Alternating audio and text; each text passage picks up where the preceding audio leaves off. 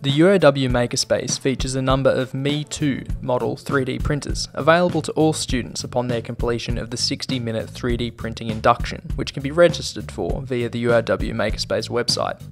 Featuring many different types of PLA filament available in an array of different colours, this allows you to create unique and durable 3D models. Whether you're an experienced creator or an amateur who is only just dipping a toe into the world of 3D printing, the Makerspace presents an opportunity for you to experiment with ideas and explore just what the technology can offer you. This can mean modelling your own 3D objects in Blender or AutoCAD with our suite of iMacs and PCs, or just downloading pre existing models from Thingiverse.com. Both approaches are welcome, as long as the model can fit within the 20 by 20 by 20 dimensions of the printer bed itself. Once you have the file you'd like to print, it's as simple as checking that the printer is free to use and set up to your preferences, and then uploading it via the nearby PC. After that, you're good to go.